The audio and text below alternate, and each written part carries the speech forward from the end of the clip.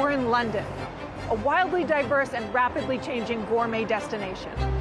We're here to cook up a feast with two of the city's most highly acclaimed chefs. Sabrina Gidda. There are cornerstones of Indian cookery. You know, this beautiful collection of spices we got together. You've got to play and have some fun. Otherwise, we'll all be doing the same thing forevermore. And attorney turned chef, Karan Gokani. I love this. This is my favorite part of the day. I think this is the real test now. You don't need a fork and knife. You don't need to carve this. It should just all just come apart.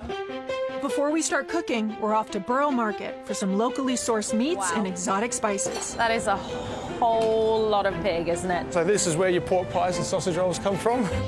And we'll visit Paxton and Whitfield, one of London's most famous cheese shops. We have an assortment all made by women. I yeah. love this. Now that is the finale to a feast. Definitely.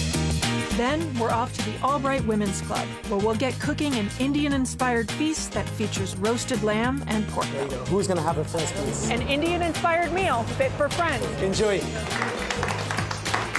Next on a movable feast with Fine Cooking Magazine.